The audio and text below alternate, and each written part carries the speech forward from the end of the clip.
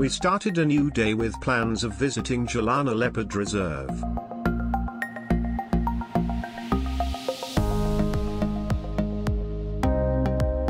Jhalana Leopard Reserve is an urban jungle, situated inside the city limits of Jaipur.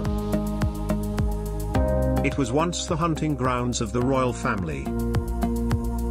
Overlooking the city, mountains, and greenery, the hunting lodges still stands as a memorial of royal Rajput reign. This ecosystem, which spreads around 20 square kilometers, homes more than 30 leopards, numerous species of birds, and other wild animals like spotted deer, fox, blue bull, striped hyena and so on.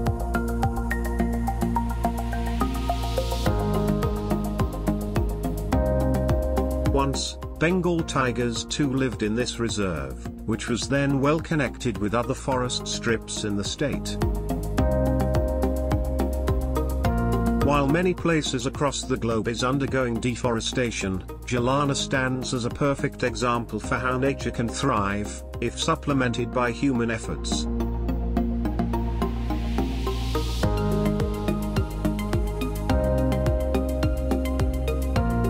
Here, the concrete jungles fades away into the greenery of the reserve forest. We were able to sight few leopards, and other wildlife during three different game tries inside the reserve.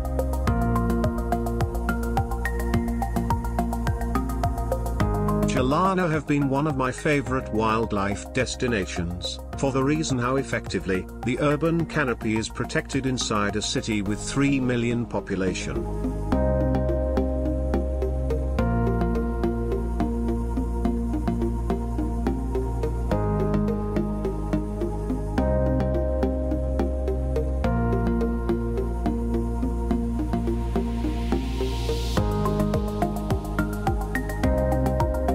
We decided to visit the heritage monument, Jantar Mantar, and started our journey through Jawaharlal Nehru Marg.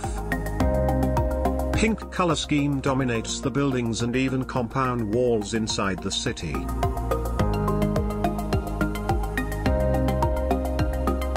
The efforts put in by Jaipur Development Authority, in keeping the city clean and green is really appreciable. The area has all amenities like hospitals, schools, colleges and is hub of shopping, cinema and hotels.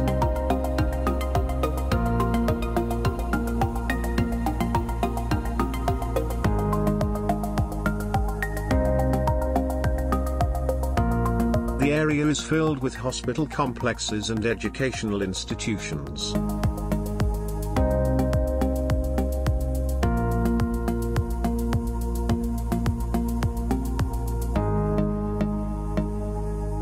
People from suburbs of the city, and other parts of the state, travel to these hospitals, for better medical facilities in the state.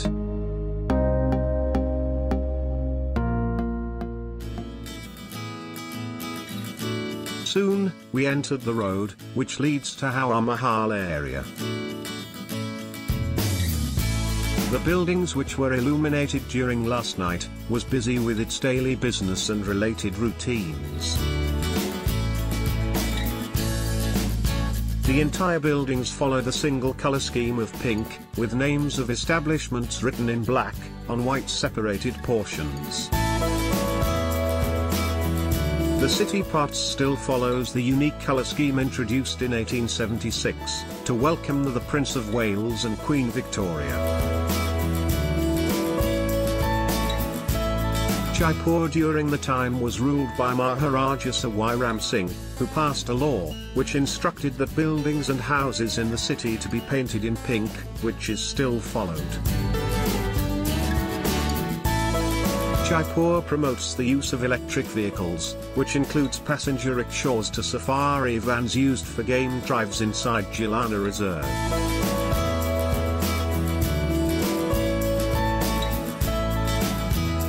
These rickshaws serves as shared means of commutation for local crowd.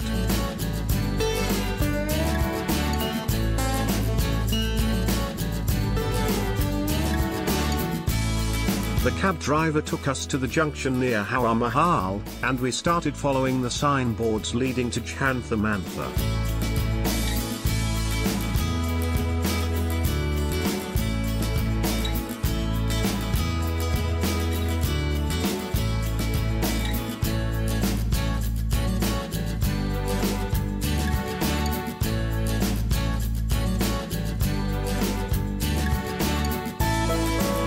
On our way was the historical gate named Tripolia Gate, which was constructed in 1934, and was once the main entrance to the palace complex.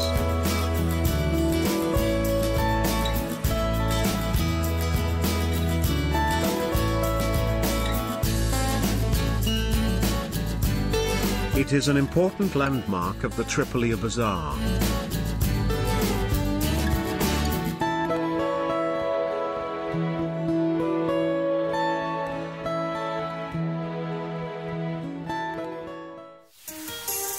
Tall walls separated Jantar Mantar from the streets.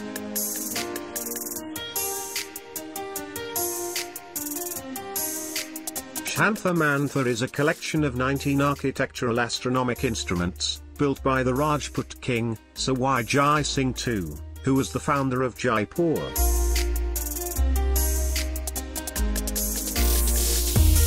This UNESCO World Heritage Site, which features the world's largest stone sundial, was completed in 1734.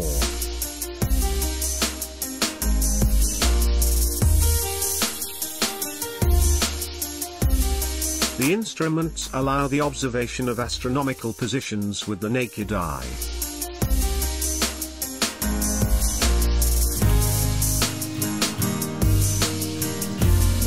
This instrument named Samrat Yantra, is a sundial, that can give the time to an accuracy of 2 seconds.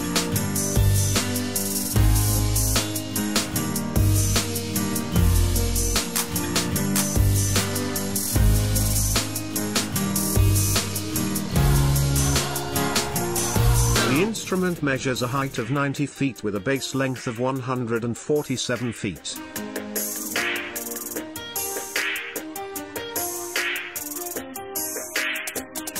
The essential parts of the Samrat Yantra are, the gnomon, a triangular wall with its hypotenuse parallel to Earth's axis, and a pair of quadrants on either side, lying parallel to the plane of the equator.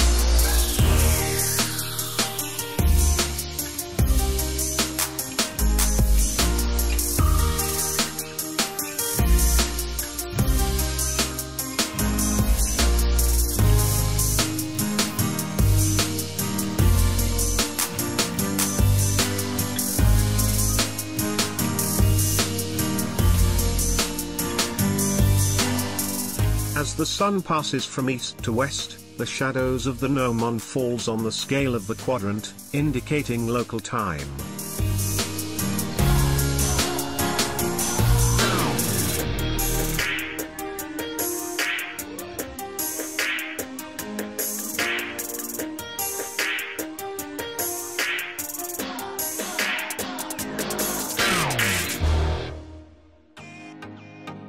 We moved ahead to the nearby installation, which is a collection of miniature structures.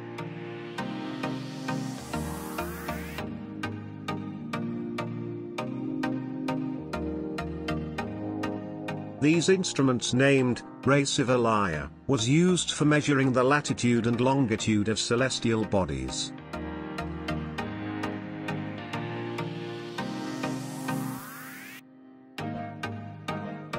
There are 12 instruments, which represents the 12 signs of zodiac.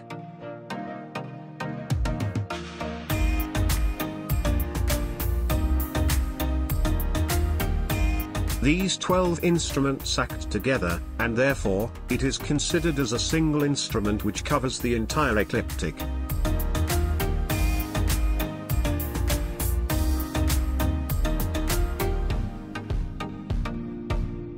Even though instruments resembles the Samrat Yantra, they differ with each other in shape, size and angle of gnomon.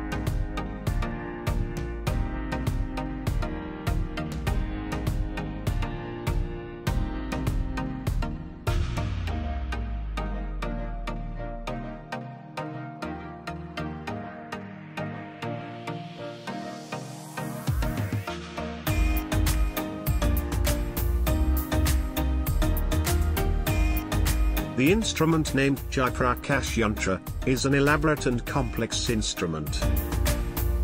It is a bowl-shaped instrument, built partly above and partly below ground level.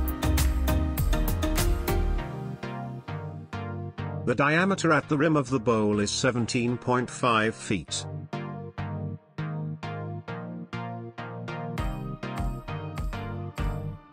The interior surface is divided into segments, and recessed steps between the segments provide access for the observers.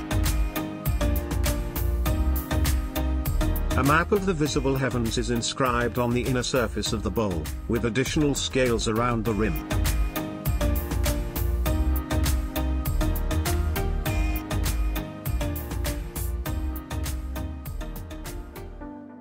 It is based upon the concept dating to as early as 300 BC, when the Greco-Babylonian astronomer, Berosus is said to have made a hemispherical sundial.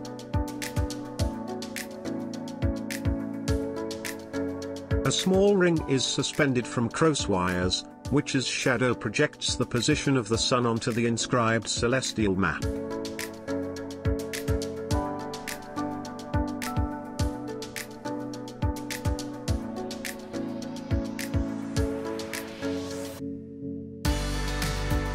The plate serves as a sighting device for night observations, and casts an easily identifiable shadow on the interior surface of the bowl for solar observations.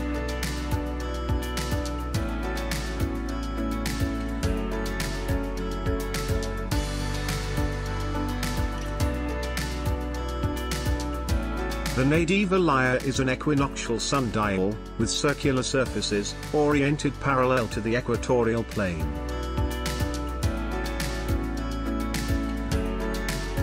One surface faces north and the other faces south.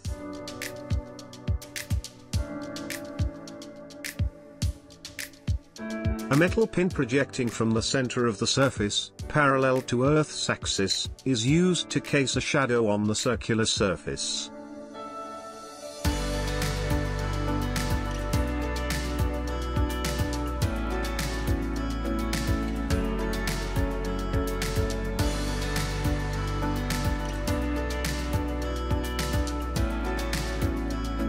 The chakra yantra, is a pair of upright metal circles, which stands between a pair of hemisphere, lowered into the ground in front and behind them.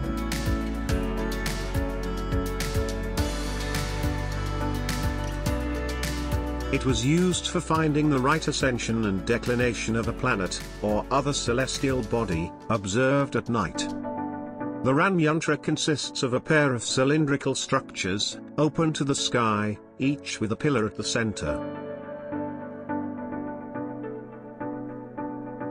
The pillar and walls are of equal height, which is also equal to the radius of the structure. The floor and interior surface of the walls are inscribed with scales indicating angles of altitude and azimuth. Digamsa yantra is a cylindrical instrument, used to determine the azimuth of a celestial object. It consists of two cylindrical walls surrounding a central pillar.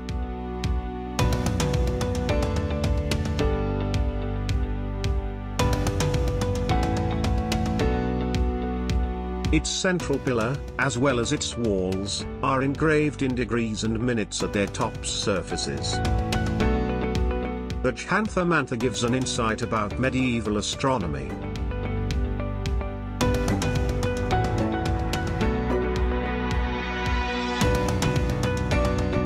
The monument is an exemplification of architectural innovations, that was built on ideas from different religious and social beliefs, in the 18th century India. This UNESCO heritage site is open to visitors from 9 am to 4.30 pm. We headed to the streets of the Pink City, to purchase some traditional Rajasthani merchandise with artworks for which the city is famous for.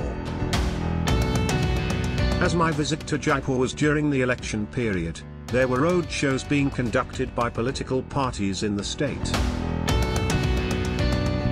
Hundreds of members were participating in such rallies, and candidates were seen seeking blessings and votes from the public.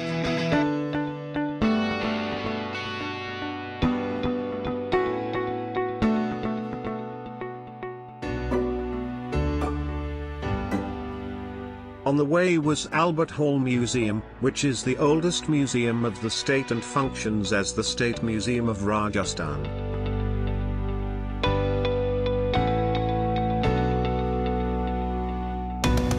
It is also called Government Central Museum.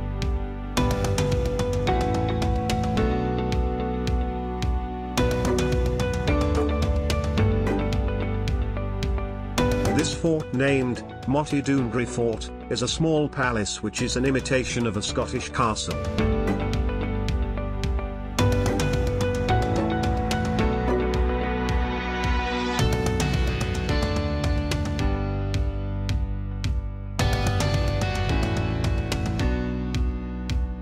Close to the fort, is the Birla Mandir, which is a Hindu temple built by BM Birla Foundation in 1988, constructed solely of white marble.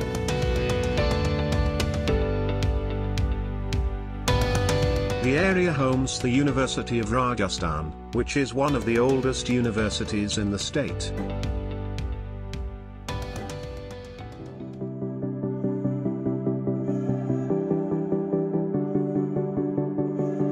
Jaipur city and roads has greenery in abundance.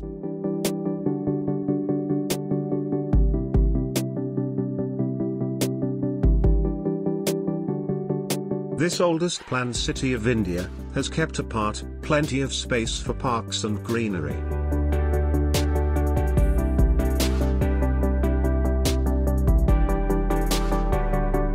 Our hotel was near Jawahar Circle Garden, which is a circular park with a diameter of 452 meter.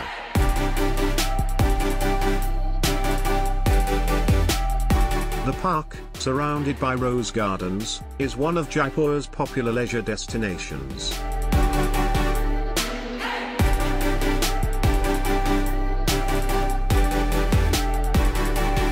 Soon after the overbridge, we entered the Malviya Nagar Road.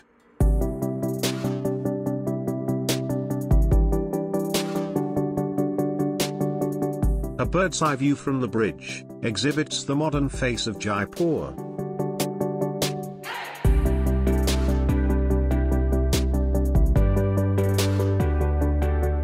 The building named World Trade Park stands as a welcome sign to the area.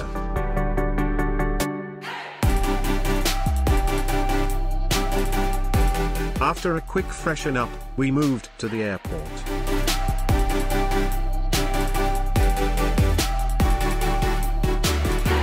Now it's time to say a short goodbye to the royal city.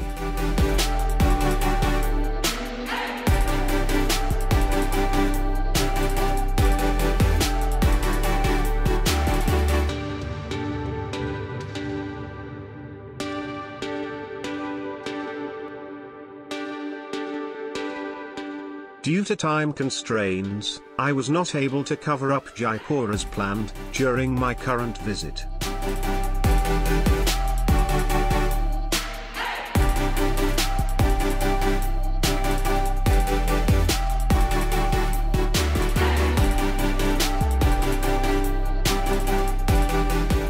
As the flight was taking off from the soil of Jaipur, I was silently planning my next visit to the Pink City.